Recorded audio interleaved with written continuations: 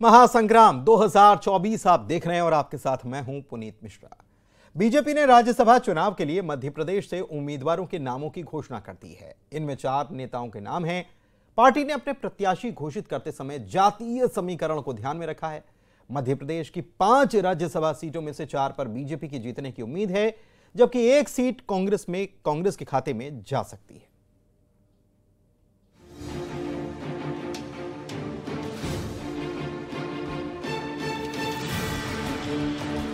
मध्य प्रदेश में बीजेपी ने राज्यसभा के चार उम्मीदवारों का ऐलान कर दिया है। पार्टी ने जिन लोगों को प्रत्याशी बनाया है, उसमें केंद्रीय सूचना और प्रसारण मंत्रालय में राज्य मंत्री एल मुरुगन शामिल हैं।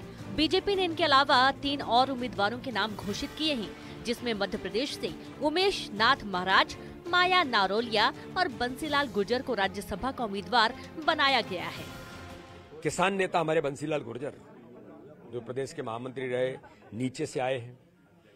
महिला मोर्चे की हमारी अध्यक्ष माया नारोलिया, जो बूथ अध्यक्ष से लेकर के पार्टी के अंदर, महिला मोर्चे की अध्यक्ष नगर पालिका की अध्यक्ष, पार्षद, सरपंच, ऐसे स्थानों पर जो रही हैं, आज उन्हें अवसर मिला है।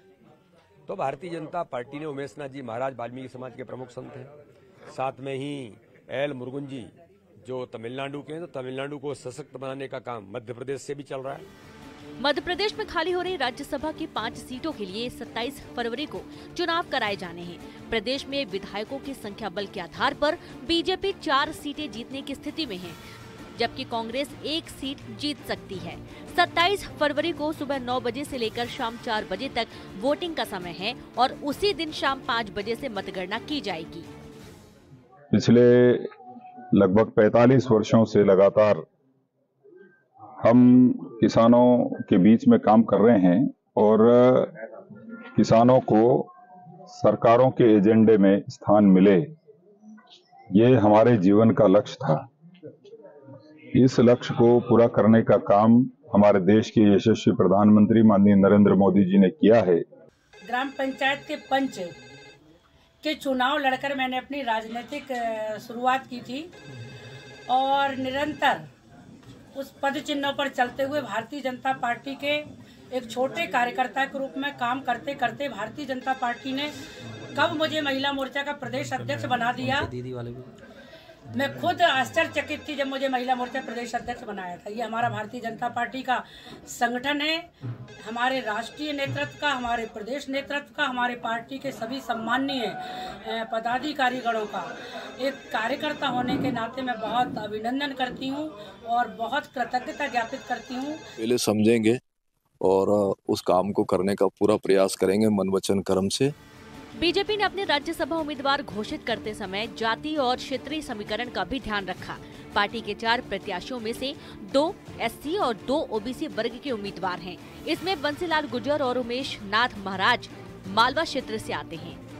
शैलेंद्र भदौरिया के साथ पवन गौड़, न्यूज़ एटीन, मध्य प्रदेश।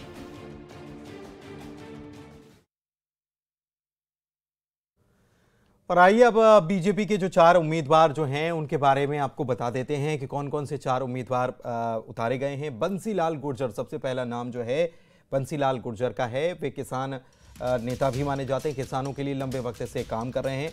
और बंसीलाल गुर्जर ओबीसी समाज के बीजेपी किसान नेता हैं, लेकिन अभी इस वक्त आप माया नरोलिया जो हैं, इनको आप देख रहे हैं। पंच से इन्होंने अपने राजनीतिक करियर की शुरुआत की थी, सबसे पहले पंच बनी थी। चार उम्मीदवारों में से एक माया नरोलिया हैं। ग्राम पंचायत पंच का चुनाव उन्होंने लड़ा और अब सोचिए कि राज्यसभा पहुँच रही हैं, जिनको आपने सुना भी, उन्होंने कहा कि ये बीजेपी में ही हो सकता है और बीजेपी की इसीलिए वो उसको धन्यवाद पार्टी को दे रही हैं।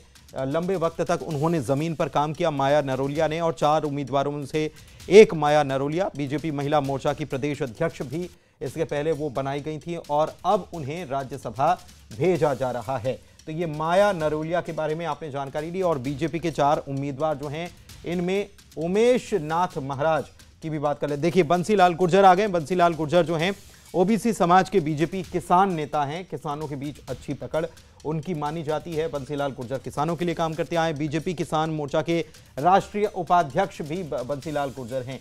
और एक बड़ा नाम बीजेपी के लिए ये रहा है। ओबीसी कैटेगरी से आते हैं। 45 साल किसानों के लिए उन्होंने काम किया और अब बीजेपी ने उन्हें राज्यसभा का उम्मीदवार बनाया है। और अब बात करते हैं तीसरे उम्मीदवार की तो बीजेपी के चार उम्मीदवारों में से तीसरा उम्मीदवार जो है उमेश नाथ महाराज को बनाया गया। मोहन यादव और शिवराज की भी इनके आश्रम जाते रहे हैं। उमेश नाथ महाराज के आश्रम पीठाधीश्वर, वाल्मीकि समाज से उमेश नाथ महाराज आते हैं और ये जो हैं, ये मालवा से आते हैं। अमित शाह और मोहन भागवत ने भी इनसे आशीर्वाद लिया था। मोहन यादव और शिवराज सिंह चौहान भी उनके आश्रम जाते रहे। और बीजेपी के चौथे उम्मीदवार की अगर बात कर लें तो एल मुरुगन जो हैं, दक्षिण के नेता उनको यहाँ यहाँ से अब राज्यसभा भेजे जाने की तैयारी है। मौजूदा समय में केंद्रीय राज्य मंत्री हैं एल मुरुगन। तमिलनाडु बीजेपी के प्रदेश अध्यक्ष रहे हैं और अनुसूचित जाति जो है, उसके आयोग के उपाध्यक्ष भी आप रहे हैं। लंबे समय से स्वयं सेवक संघ से जुड़े रहे, अपनी सेवाएँ देते रहे और अब बीजेपी के जो चार उम्मीदवार हैं, उनमें एल मुरुगन का भी नाम है, जिनको राज्यसभा भेजे जाने की पार्टी ने तैयारी कर ली है। इधर एमपी कांग्रेस की बात कर लें तो कांग्रेस के राज्यसभा उम्मीदवार भी घोषित कर दिए गए हैं और एक सीट, क्योंकि माना जा रहा है कि पाँच सीट जो खाली हुई है, उसमें एक सीट कांग्रेस जीत सकती है और कांग्रेस की तरफ़ से एक ही प्रत्याशी के नाम का ऐलान किया गया, अशोक सिंह। अशोक सिंह कांग्रेस के राज्यसभा उम्मीदवार होंगे, बना दिए गए हैं। चार बार दरअसल उन्होंने लोकसभा चुनाव लड़ा, लेकिन चारों बार उनको कामयाबी नहीं मिल पाई। चारों बार हारे हैं और दिग्विजय सिंह के आप कट्टर समर्थक माने जाते हैं, अशोक सिंह। एमपी से राज्यसभा कमलनाथ नहीं जा रहे हैं। कमलनाथ के राज्यसभा जाने के पहले चर्चा थी। सोनिया गांधी तक को भेजे जाने की मांग की गई थी, लेकिन सोनिया गांधी तो राजस्थान से जा रही हैं, ये जानकारी आ चुकी है, पर्चा उन्होंने दाखिल कर दिया है। और राज्यसभा कमलनाथ, क्योंकि कल डिनर डिप्लोमेसी जो हुई थी, वहाँ पर खाली कागज़ पर हस्ताक्षर करा लिए गए थे विधायकों के। और अब नाम जो है, अशोक सिंह के नाम पर मुहर लग चुकी है। राज्यसभा उम्मीदवार कांग्रेस ने उन्हें बना लिया है। दिग्विजय सिंह के कट्टर समर्थक अशोक सिंह माने जाते हैं। चार बार ग्वालियर से लड़े, ज़रूर कामयाबी उन्हें नहीं मिल पाई थी, लेकिन ने मध्य प्रदेश से राज्यसभा प्रत्याशी के तौर पर अशोक सिंह को प्रत्याशी बनाया। वो हमारे साथ मौजूद हैं। भाई साहब, कितना बड़ा कदम सरकार आप मानते हैं पार्टी का कि आपको एक बार फिर भरोसा जताया है? हमारे सभी वरिष्ठ नेतृत्व आदरणीय सोनिया जी, राहुल जी, खड़गे जी और मध्य प्रदेश के सभी वरिष्ठ नेताओं का आभार व्यक्त करता हूँ, जिन्होंने मुझ जैसे छोटे से कार्यकर्ता को ये सम्मान दिया है। मेरी, मैं प्रयास करूँगा कि कार्यकर्ताओं के उम्मीदों पे खरा उतरने का प्रयास करें। ग्वालियर चंबल संभाग से जो दिग्गज आते हैं उनको टक्कर देने के लिए अब आपको मैदान में उतारा है क्या लगता है? देखिए बात ये हमारी हमारी कांग्रेस की नीतियाँ उस पर हम काम करते हैं और उस पर काम वो सभी लोगों को साथ चल ले चल लेकर चलने की जो हमारी रीति नीति है उसमें मेरा प्रयास रहेगा कि हम उसी तरह काम करें। लेकिन क्या मानते हैं? नरेंद्र सिंह और ज्योतिराज सिंधिया भी उस इलाके से आते हैं। अब आपको जैसे दिग्गज नेता को मैदान में उतारा, राज्यसभा जाएँगे तो क्या लगता है कि इलाके के में अपने क्षेत्र के और मध्य केंद्र में मध्य प्रदेश के विकास के लिए जो भी आवाज़ उठानी होगी, मैं उठाने का प्रयास करता रहूँगा धन्यवाद सर अशोक सिंह जी उनका साफ़ तौर पर कहना है कि मध्य प्रदेश की और खासकर ग्वालियर चंबल संभाग की जो आवाज़ है, उसको उठाने का काम वह राज्यसभा में करते रहेंगे और कहीं ना कहीं उन्होंने आला कमान को प्रत्याशी बनाया जाने को धन्यवाद भी दिया कैमरा मोहसिन के साथ सैलन सिंह भोपाल। और आइए अब बात कर लेते हैं छत्तीसगढ़ की। छत्तीसगढ़ से भी राज्यसभा के लिए राजा देवेंद्र प्रताप सिंह को पार्टी ने उम्मीदवार बना दिया। एक ही सीट खाली हो रही है, सरोज पांडे इसके पहले थी और अब जो खाली हो रही है, सरोज पांडे की सीट, अब राजा देवेंद्र प्रताप सिंह को जो उम्मीदवार बनाया गया, उन्होंने आज नॉमिनेशन फ़ाइल कर दिया है। बीजेपी के उम्मीदवार बनाए गए हैं, राज्यसभा उम्मीदवार के लिए उन्होंने नामांकन भर दिया है। विधानसभा पहुँचे थे और राज्यसभा का नॉमिनेशन उन्होंने कर दिया है। सदन में तीस से ज़्यादा प्रस्तावक के रूप में सह प्रस्तावक के रूप में लोग मौजूद रहे। 27 फरवरी को राज्यसभा का चुनाव होना है और छत्तीसगढ़ की एक सीट पर यह चुनाव होना है।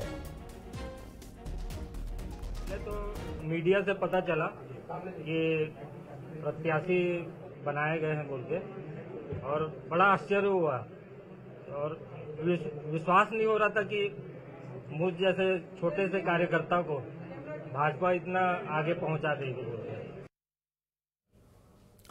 और शैलेंद्र भदौरिया भोपाल से हमारे संवाददाता हमारे साथ लाइव जुड़े हुए हैं, उनके पास भी चलेंगे। और साथ ही में आकाश शुक्ला रायपुर से हमारे साथ लाइव जुड़े हुए हैं, उनके पास भी चलते हैं। सबसे पहले आकाश के पास चलते हैं, क्योंकि छत्तीसगढ़ में एक ही सीट है। और एक सीट अगर देखा जाए तो यहाँ पर बिल्कुल साफ़ तौर पर, तस्वीर तो साफ़ तौर पर नज़र आ ही रही है। आज नॉमिनेशन भी हो गया। आकाश, जानकारी दी।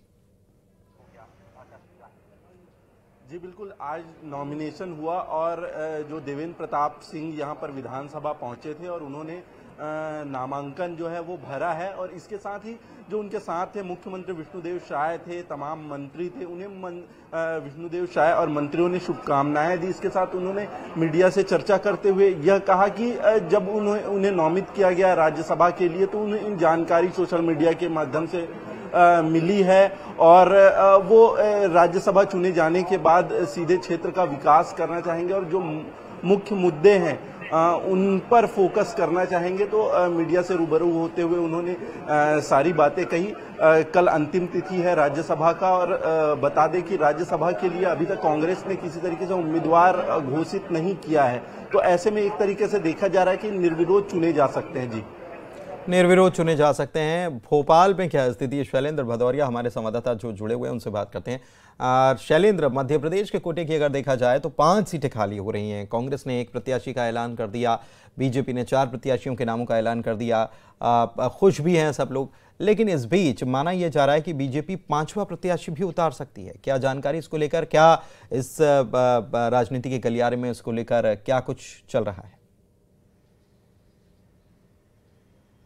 देखिए, अगर मैं अंक गणित के लिहाज से देखूँ तो जो पाँच सीटें खाली हुई उसमें से चार बीजेपी की सीटें थी और एक जो है, वो कांग्रेस की सीट थी। और वर्तमान में जिस तरीके से विधायकों की संख्या उस लिहाज से ये माना जा रहा है कि चार सीटें आसानी से बीजेपी के खाते में और एक सीट जो है, वो कांग्रेस के खाते में जाएगी। यही कारण है कि बीजेपी ने केवल चार प्रत्याशियों का अभी तक ऐलान किया है और कांग्रेस ने मात्र एक प्रत्याशी का ऐलान किया है। जिस बात का आपने ज़िक्र किया कि पांचवी सीट पर पार्टी क्या कोई प्रत्याशी उतार सकती है हालाँकि इसको लेकर अभी कोई भी नेता कुछ भी बोलने को तैयार नहीं हालाँकि प्रदेश अध्यक्ष बी शर्मा से ज़रूर बात हुई थी तो उन्होंने कहा था इसका निर्णय आला कमान लेगा लेकिन जिस तरीके से जो गणित है विधायकों का एक विधायक जो है वो बीजेपी के पास है और छियासठ विधायक जो है वो कांग्रेस के पास है तो हम्म। ऐसे में पांचवा प्रत्याशी बीजेपी शायद ना उतारे ना ही कांग्रेस कोई दूसरा प्रत्याशी उतारेगी यदि कोई एक राजनीतिक दल अगर हम्म। प्रत्याशी उतारता है तो दूसरे दल को भी प्रत्याशी उतारना पड़ेगा लेकिन जो हम्म। वर्तमान परिस्थितियाँ उससे लग नहीं रहा है कि पांचवा प्रत्याशी बीजेपी यहाँ उतारेगी। क्योंकि देखिए सेफ़ साइड में चार सीटें जो है वो बीजेपी के पास जाती साफ़ तौर पर नज़र आ रही है। और यही कारण है कि कांग्रेस ने भी केवल एक प्रत्याशी को उतारा है। आज चूँकि नामों का ऐलान हुआ है, मध्य प्रदेश में सभी जो पाँचों प्रत्याशी है कल वो अपना नॉमिनेशन फ़ाइल करने के लिए विधानसभा पहुँचेंगे। बीजेपी ने तमाम जो तैयारियाँ कर ली हैं तमाम जो मध्य प्रदेश के से जो केंद्रीय मंत्री हैं वो यहाँ पर मौजूद रहेंगे। मध्य प्रदेश सरकार के मुखिया यहाँ पर हम्म। मौजूद रहेंगे। तो और जिन वर्गों से जो लोग आते हैं साधु समाज के लोग यहाँ पर हम्म। मौजूद रहेंगे तो चारों प्रत्याशी जो है वो एक साथ बीजेपी कार्यालय से निकलकर विधानसभा पहुँचेंगे और अपना नॉमिनेशन फ़ाइल करेंगे। अगर दूसरी तरफ़ बात कांग्रेस की करें तो कांग्रेस के प्रत्याशी कुछ देर पहले ही घोषित हुआ है। हम्म। उसके बाद विधानसभा का सत्र चल रहा था। जैसे सत्र खत्म हुआ सभी विधायक जो है वो लगभग लगभग सभी विधायक जो है हम्म। नेता प्रतिपक्ष उमंग सिंघार के घर पर पहुँचे थे। राज्यसभा प्रत्याशी अशोक सिंह वो भी उनके घर पहुँचे थे। तो नामांकन की प्रक्रिया में जो आवश्यक दस्तावेज़ है वो खाना हम्म। पूर्ति की जाएगी उसके बाद ठीक है वो खाना पूर्ति कर ली जाएगी और उसके बाद नॉमिनेशन फ़ाइल होगा। बहुत शुक्रिया आपका इस जानकारी के लिए। आकाश हमारे सहयोगी भी जानकारी दे रहे थे रायपुर से शैलेंद्र भी दे रहे थे। पूर्व कांग्रेस अध्यक्ष सोनिया गांधी ने राजस्थान से राज्यसभा के लिए नॉमिनेशन कर दिया है। आज करीब 12 बजे कांग्रेस के बड़े नेताओं के साथ सोनिया गांधी राजस्थान विधानसभा पहुँची। उनके नामांकन के दौरान राहुल और प्रियंका गांधी भी मौजूद थे। सोनिया के आज सुबह जयपुर पहुँचने के बाद ही पार्टी ने उनके नाम की औपचारिक घोषणा की। सोनिया गांधी के नामांकन से पहले विधायक दल की बैठक हुई, जिसमें कांग्रेस विधायकों ने सोनिया गांधी, राहुल गांधी और प्रियंका गांधी का स्वागत किया। इससे पहले सीट से पूर्व पीएम मनमोहन सिंह राज्यसभा सदस्य थे। अब इसी सीट से सोनिया गांधी राज्यसभा जाने की तैयारी में है। पहली बार सोनिया गांधी ने राज्यसभा में जाने के लिए नॉमिनेशन भरा है। इससे पहले वे उत्तर प्रदेश की रायबरेली लोकसभा सीट से चुनाव लड़ा करती थी।